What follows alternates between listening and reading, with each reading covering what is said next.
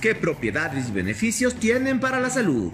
Contienen unos altos niveles de molibdeno. Son una gran fuente de hierro, magnesio, potasio, cobre, fósforo y zinc. Y en menor cantidad, selenio y calcio. Aportan ácido fólico, alrededor del 90% del valor diario recomendado. Tienen vitaminas A, B1, B2, B3, B5, B6 y B12, colina, vitamina C, K y vitamina E. Por otra parte, son ideales para dietas de adelgazamiento, ya que aportan solo 230 calorías. Además, gracias a su fibra, aumentan la sensación de saciedad ayudan a reducir el colesterol, fortalecen la salud del corazón y reducen el riesgo de padecer enfermedades cardiovasculares. Combaten la anemia por su contenido en hierro, mantienen los niveles de azúcar en la sangre estables, lo que los convierte en un alimento recomendado para diabéticos.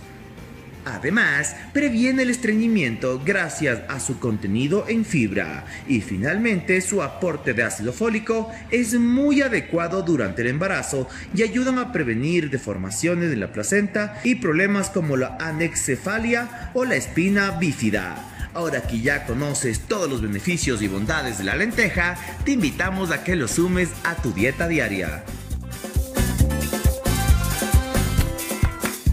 Buenos días de Dios, bienvenidos a Saboreando la Mañana. Para muchos una semana corta, para nosotros seguimos ahí. Bienvenido nuevamente, mi querido Martín Quintana, Marinita, linda como siempre, ¿cómo estás? Muchísimas gracias, mi querido gordito, feliz de la vida de estar con ustedes en este martes, haciendo un abrir y cerrar de ojos y estamos en el segundo día de la semana, así que a ponerle toda la gana, toda la vibra, toda la energía positiva, que lo más importante es, como decíamos el día de ayer, gordito, que los buenos somos más. Muy buenos días, un gusto estar nuevamente junto a ustedes. Gracias por permitirnos ser parte de su, de su hogar y empecemos a hablar. Bueno, yo estaba un poco de vacaciones y dentro de las vacaciones yo dije, nunca he hecho lentejas, voy a hacer lentejas. Puse un video en YouTube y qué deliciosas, muy fáciles de hacer. Ah, eh, muchísimas gracias a la gente que me está dando consejos y, secretitos como dejar una noche anterior la lenteja porque sí me quedó durita. Pero las propiedades, como estábamos viendo, muy buenas propiedades para la fibra, eh, para, para nuestro organismo. No sé si a ustedes les gustan las lentejas, queridos compañeros, cuéntenos. A mí sí, a mí sí me encanta y como te decía también en interno, Martín, es eh, la menestra de lenteja para mí es un plato súper fácil de hacer. Una y crema de una crema de lenteja. Con quesito claro. parmesano y un poquito de salsa Claro. pesto. Queda Delicioso. espectacular. Sopita Sí, de sí, lenteja también es El buena. menestrón. Claro, claro, minestrón con frijolito, pero sí, es una, de- es una delicia en realidad eh, la lenteja y todos los beneficios que, eh, que nos ha presentado. Una menestra con chuleta y arroz. pues, Gordito, ¿no? o el arroz moro, moro, moro, dicen Claro, moro. moros, y cristianos Eso, también. sí. eh, Eso también es Oiga, pero. ¿ustedes son de los que les gusta el, el carne, el- la carne con lenteja y arroz o con frijol y arroz? Yo los dos, la verdad, a mí me gustan las los dos. dos. A mí, yo me apunto a las dos. Las menestras me encantan. Qué espectacular queda la lenteja. Muy bien, pero ahora vamos a hablar mucho más de esta maravillosa lenteja y vamos a establecer contacto con Karina Pazmiño. Ella es nutrióloga, parte del staff de la Universidad Internacional del Ecuador, UID. Muy buenos días, Karina. Adelante, te escuchamos. Gracias. Buen día. Muchísimas gracias por la invitación.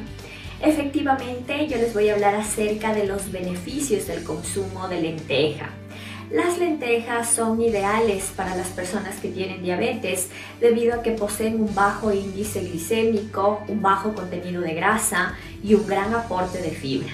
El gran contenido de fibra de las lentejas aumenta la saciedad y contribuye a mantener estables los niveles de glucosa en la sangre.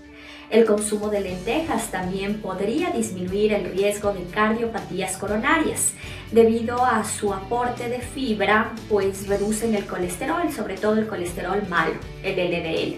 Son buenas fuentes de vitaminas, sobre todo de la vitamina B9, lo que ayudaría a evitar la malformación del tubo neural en los recién nacidos. Adicional debemos comentar que son económicas, eso es un beneficio hacia nuestro bolsillo. La Organización Mundial de la Salud y el Instituto de Nutrición y Tecnología de los Alimentos aconseja consumir leguminosas en un promedio de dos veces a la semana. ¿Cuál es la porción? Hablamos de media taza, eso eh, representa la porción que deberíamos consumir.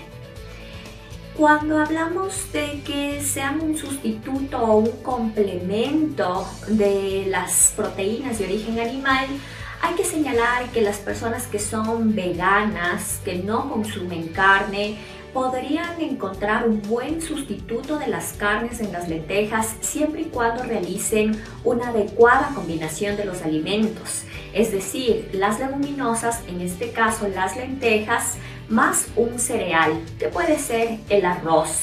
Y sin olvidar, por supuesto, la combinación de la vitamina C y de los vegetales verdes. Es ideal que realicen esa combinación para evitar déficit nutricional.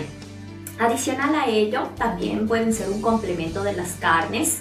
La proteína de alto valor biológico tiene todos los aminoácidos esenciales y puede contribuir a pues complementar ese déficit de aminoácido esencial que tiene la lenteja, que es la metionina. De las dos maneras se lo puede consumir. Es ideal también recordar que las personas que tienen artritis, artrosis, gota, deberían limitar el consumo de lentejas ya que poseen ácido úrico. Limitar más no eliminar las lentejas de su dieta. Muchísimas gracias por la invitación.